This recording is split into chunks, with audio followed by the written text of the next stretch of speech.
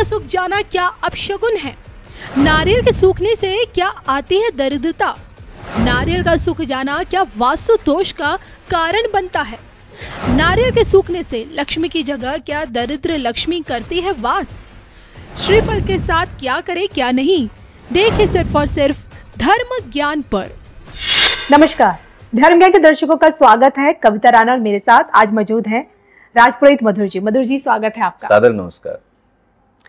नारियल इसकी महत्ता से देखिए हर कोई परिचित है।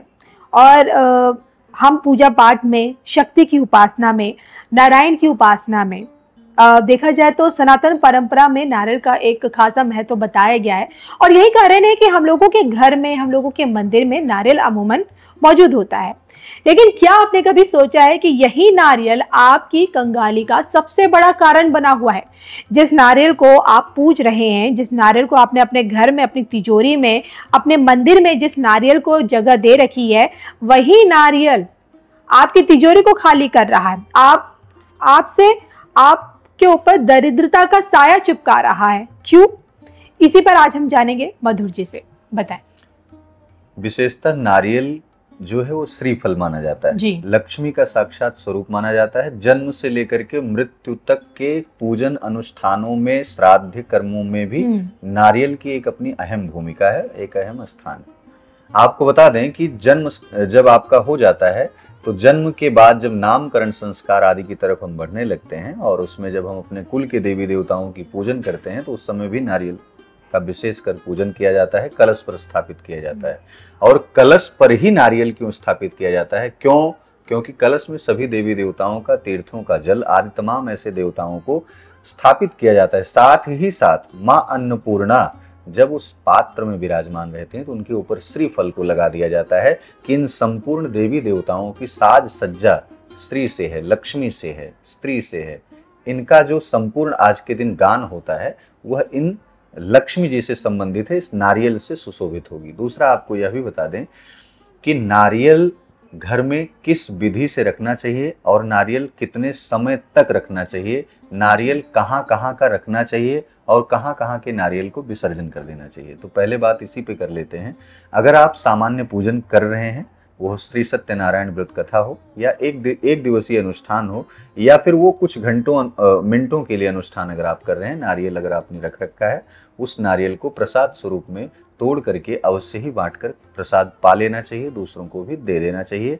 उस नारियल से निकले हुए जल को पान करना चाहिए, किसी रोगी व्यक्ति को भी पान कराना चाहिए। अगर अनुष्ठान आप कर रहे हैं, वो अनुष्ठान नवरात्रि जैसा पर्व है, महापर्व है।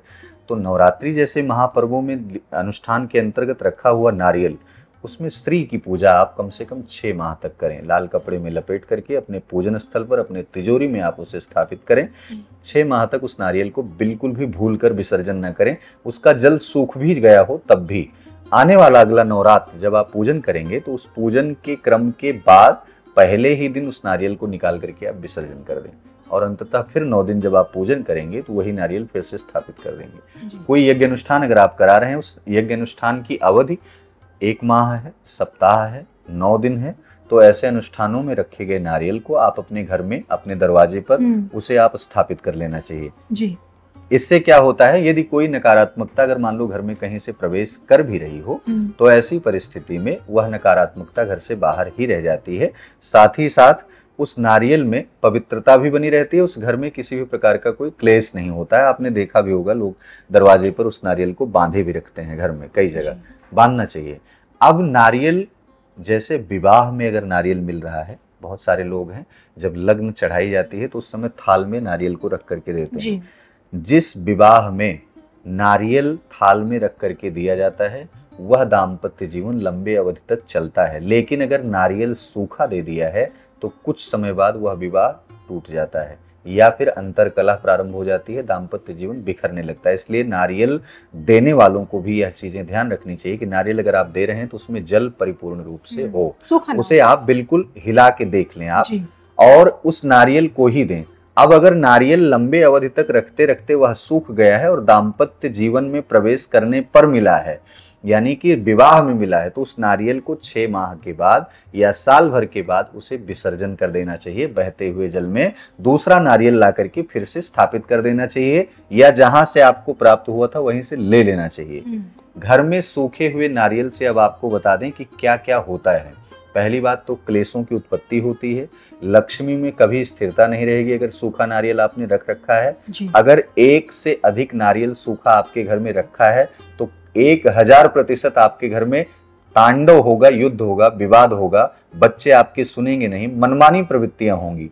तमाम नकारात्मकता अपने आप आने लगती है और सकारात्मक शक्तियाँ आपस में द्वंद्व करने लगती हैं। इसलिए सूखा नारियल, यानी कि जो जल सूख गया हो, उस सूखे नारियल को अपने घर में नहीं रखना चाहिए। अब एक प्रश्न ये आएगा क्या दुकानों में रखा रहता है नारियल? तो वहाँ कलह क्लेश होने लगती है या कोई दिक्कत आती है? तो दुकान एक क्रय और विक्रय का केंद्र है। क्रय और विक्रय के केंद्र में साक्षात हनुमान जी रक्षा करते हैं कुबेर जी धन आदि तमाम प्रकार की ऐसी प्रवृत्तियों को शामिल भी करते हैं अर्थात धन आगमन के संकेत भी देते हैं। लेकिन वही नारियल जहाँ दोष उत्पन्न करता है तो वहीं जल वाला नारियल उस दोष को खत्म भी करता है। तो इसलिए वहाँ शुभ और अशुभ दोनों परिस्थितियाँ हैं। वह एक केंद्र है वहाँ से सब कुछ प्रसारित किया जाता है।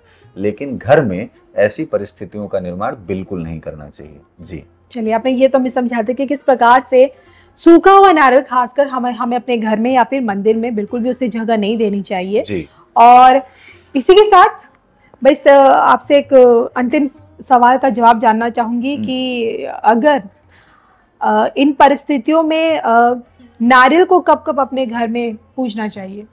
बहुत अच्छा प्रश्न है। आप पूर्णिमा तिथि के दिन अगर नारियल को ला करके पूजन कर रहे हैं हम्म। उस नारियल को आप लंबे अवधि तक स्थापित कर सकते हैं।